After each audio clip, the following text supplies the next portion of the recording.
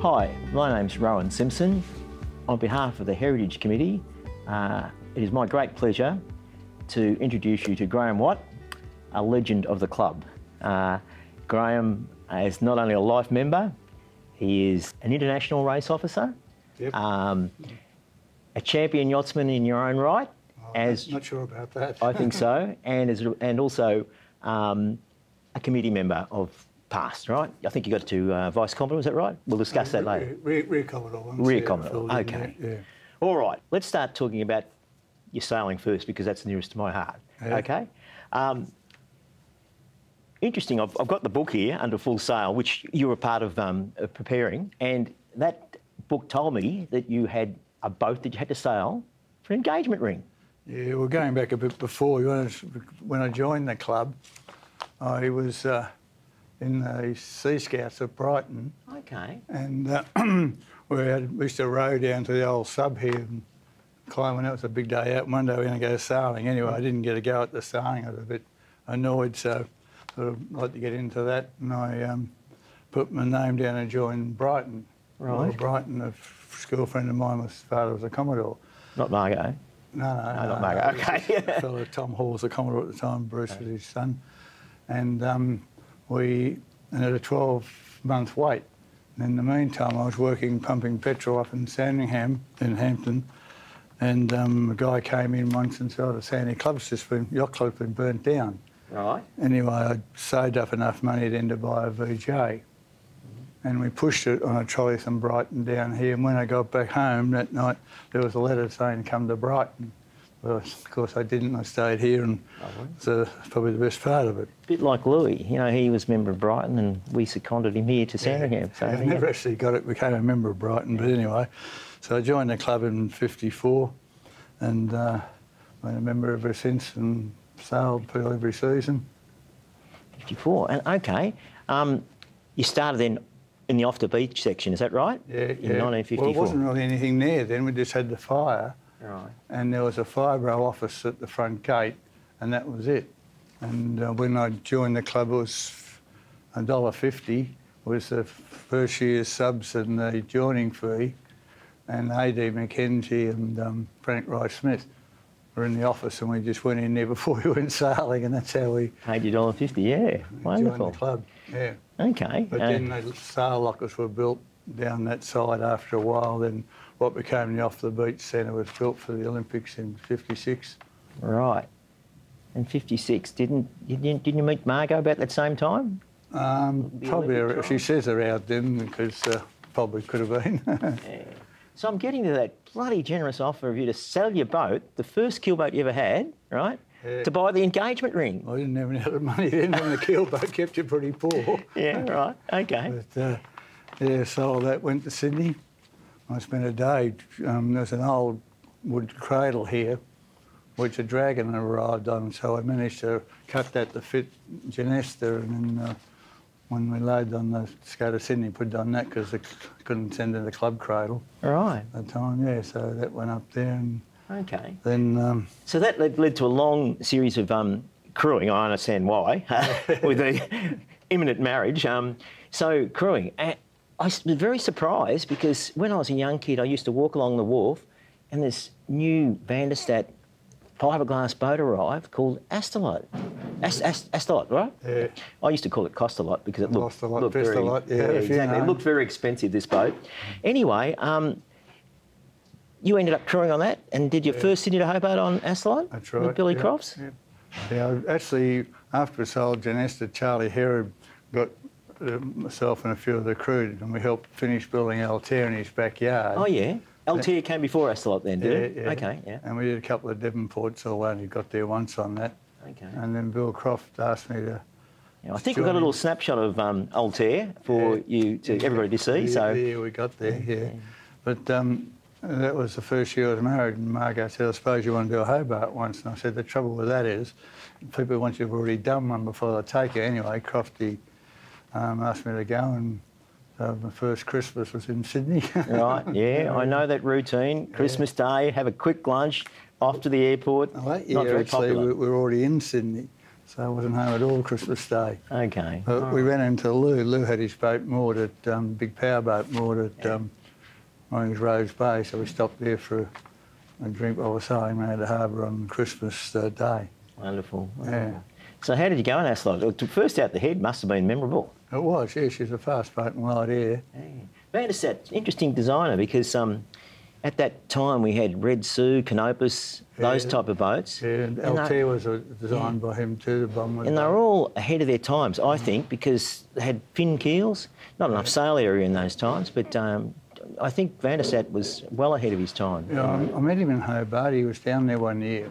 Interesting guy to talk to about his series and that. He designed Serena for Jefferson Jones. Yeah, another And he beautiful was, boat. He, he was yeah. out there when, uh, at the end of that Hobart. Mm. Okay. So speaking of Hobarts, Hobarts, how many Hobart races did you eventually do before you got wise? I got wise too, by the way. Yeah, 15. 15. Oh, well, I beat you with that, but uh, 15 Hobarts, yeah, um, that's a admirable achievement. Um, and your most favourite Hobart, or none of them are really favourites, unless you Oh, I suppose, yeah, the, the year on challenge, we got a third. We sat there and watched the time run out. We could see the finishing line. Right, okay. And then the, I think it was the next year that Lou won it in challenge, yeah. or challenge one or two, call it what you like. Mm. Yeah, well, it's quite interesting because um, I used to. Now, with this interview, there's Astalot and then there's Banshee. Banshee, a little half tonner. Yeah, that was a bit after Astalot. I'd sail, help build, finish Jasuma. Yeah. Got his factory, and we did a Devonport. wasn't ready for the Hobart, and then we did did a couple of Hobarts on that. Then one on Bid- Jim Vickery's. Right. I was Swanson 36. Then I started sailing with Lou on uh, Victoria, Sorry, yeah. and later we built Challenge up at the factory. Yeah. Well, that would have been exciting to see that boat evolve from Yeah, nothing was. into yeah. Yeah, well, Lou was the um, team manager for the Admiral's Cup that year.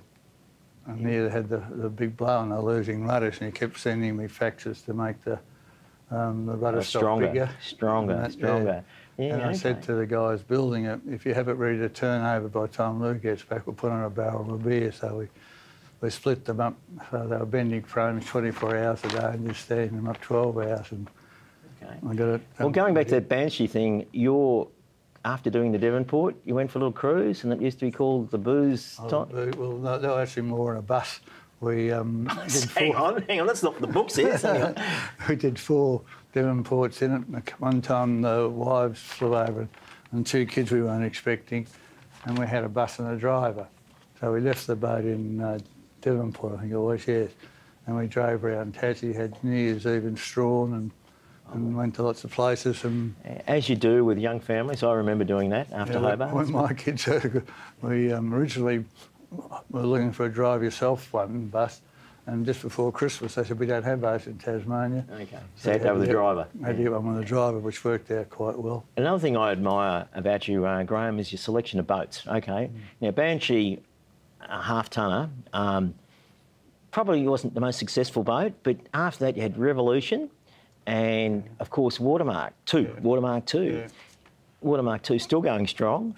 And you were actually a living legend. You couldn't be beaten in Watermark. Is that right? You had a very good I crew, wouldn't and say that. We were, we were lucky Mike Manson sold um, Young Lion because he was hard to beat. Oh, okay. that made it a bit easier for us. But uh, no, they're great boats. Banshee was a good boat. Fine. Yeah. It was the original one that was built in glass. And then the next one was Province, was Tommy Stevenson Yep, had, which right. won the, uh, the s- local... Um, Australian championships. Yeah, and then he went over to Chicago and won the Worlds. Yep, that's right. Quite a famous occasion. But Yeah. um, so there. So which boat was your most favourite boat? Well, it's between Banshee and Watermark. Watermark we had, it was a great boat to sail, but we um, just kept it in the bay where we could go offshore and. uh, in uh, Banshee. Yeah, okay. It might have been a bit wet. It was a flush decker, wasn't it? Yeah, it was a little bit. Yeah, I think so too. All right. Well, moving on then to your race management. Um, You're an absolute legend with uh, your race management. I reckon you've been doing it probably 40 years. No, not, not as long as that. Oh. It was when I was club captain, sail, and I sort of, you know, to put something back into the sport.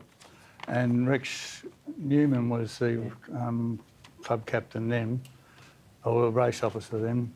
And one of the uh, Sarka races, I think it might have been, no, the Admiral's Cup trials, he said, I won't be here tomorrow, you're in charge. Okay. So I was left with that, and that sort of got me pushed into it a bit. And then I um, went a bit further, and the Wilsons were pushing people. And they were great. Well, they weren't players. around that time, surely. yes, know. they were. Uh, and um, they qualified for international for the 99 Worlds here. Right. I had that, and then um, no, uh, and that sort of just pushed me along. And one of the big highlights, I suppose, was the Olympics Right. in Sydney. A volunteer up there on the race course, and it was just a fantastic regatta. Right. Okay. Um, I think race officers have to maintain a logbook. You must have volumes of it. No, I've Volumes. got, so. got a logbook, I didn't bring it down. So what, what do you reckon of your race officer experience were memorable? Okay, you mentioned the Sydney one, um, and that was because it's home and, a, and an Olympics Just, must be wonderful. yeah, yeah. And the equipment they had and all the facilities, it was just in the um, comradeship of everybody there. Even the guys would come and clean the marinas after each race, you know, any flooding in the marinas. And it was supposed to be a dry regatta, you need to pass to get into the site. And um, but when we came in, there was a barrel load of beer for every course. Really? With More Okay. than you could drink. So, So we could learn a little bit from that. No, no, the club here is very good with its race officer. We must admit that. But um, Yeah, well, this was after the regatta, and actually, that was one of my low points in it when um, I was trying to take beer off the committee boats and give it to them afterwards, and there was a bit of a delegation against me for that. oh dear. Okay. Yeah. But um, what about um, local championships on the bay here? You Well, done? the 99 Worlds were great. We had the Fingold Cup, Yep. Yep. and um, we've had um, a lot of world championships here, Flying Dutchman's, J24s, and they also helped at, Brighton with the Dragon Worlds and the actual Worlds, and they were fantastic regattas. Mm, I know for a fact that when, say, we're hosting the Association Cup, oh, is Graeme available? It's a non, non-event for anyone else, but uh, so there it goes to show your reputation goes before you then. So, um, what do you think of the current training thing? I'm a bit pissed off about it actually, that I've got to go into a course to get accredited. Um, do you think that's a good idea or not? Well, I'm not quite sure where Australian sailing are going with all that. I mean, we want to encourage people to get into the system and encourage them to get through it as far as they want to go. And I know one of our local race officers, he had to reapply and I had to go through the whole thing with him. We got it, but to me it just seemed to be an overkill for the, one of the more basic levels. I think it's something we've got to get used to, but um, I'm just going, I'm a volunteer. I don't have to do this bloody weekend course. But anyway, I've it. signed up for the 18th, the 17th and 18th of June, so there you go. Yeah, Anyway. well, good. It's good to keep people in it, and uh, Sure. we need to, you know, um, everybody's getting older and they drop out, and uh, that's they new true. ones coming along, and In actual fact, that is a problem. I might do a bit of a plug for race officers here because um, I think the race officers at the club, we're all getting older. Now, um, I consider we've been talking about the practicalities of your membership here on the water, organising races, all that sort of stuff. Now, there was a time that you were involved in the committee, uh, and as you say, you got to uh, vice commodore, was it? Vice I, re- I was re- Rear rear commodore. Okay. It was when we were trying to get Graham Ainley into the uh, flags there because of his knowledge of engineering when the marinas were being built. And Les Black rang me up out of the blue and we said, we need someone to fill in for a year so we can get GA up there. Will you do it? So, so I said yes. And at the So end of the year, will you stay for another one? And I said, no, the option was to get GA there. I wondered about that because I wanted no uh, ambition to become commodore. Well, I, I think it takes a lot of time and a lot of effort, and I didn't think I had that available to do it properly at the time. Right. So that's why I just Okay.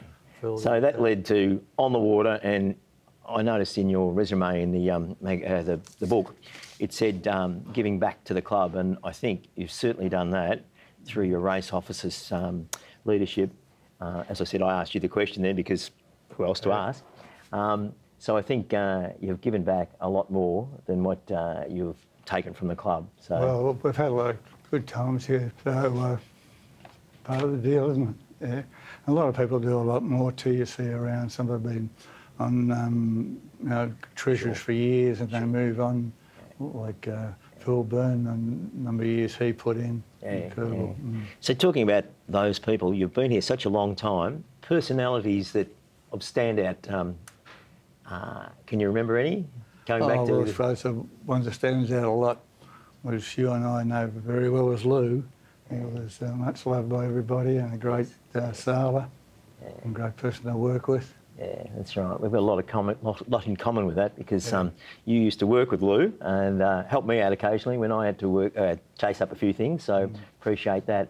So um, in finishing up, uh, let me say thank you so much to Graeme on behalf of the full membership, not only for the interview here, but for your time uh, doing all those volunteer jobs. Um, you eventually you'll leave a large gap in the organisation.